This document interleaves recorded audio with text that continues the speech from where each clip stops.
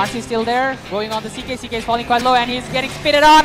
He is very low. One more right click should finish him off and there goes CK down. Raikiri picks up another kill and Bling off the enemy as well. And look at that, Bloodseeker is quite, falling quite low, getting speared in the tree and will be taken out by three people. That's an amazing rotation coming. Raikiri is up alone. He will he jumped on immediately by CK and Tech is here and Raikiri gets taken out with that critical. Also being used by Raikiri. And they're stuck in the Bloodseeker. Will get saved by the Dazzle.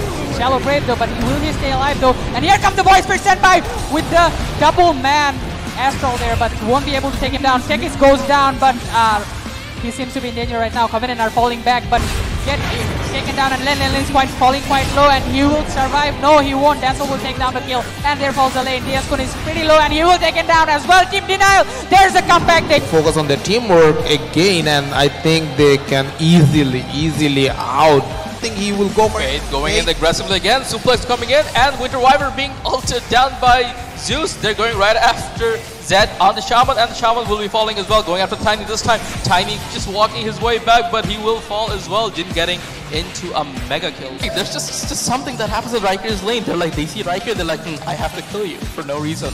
Loop back into that. Yes, okay. Riker getting a kill on DS Cut. Fate being taken down by Senpai. A little bit of comeback coming in from the side of TD, going right after the Covenant.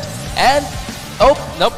Uh, Riker falling, but they're going right after the Zeus, and the Zeus is very close to falling, but and he, oh, he jumps right away, and he will be surviving. All the sun coming in, kind of stopping them away, and then getting that kill.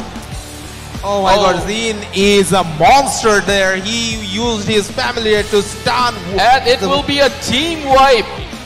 It's a 2-0 fashion win for Team Covenant. Congratulations to them.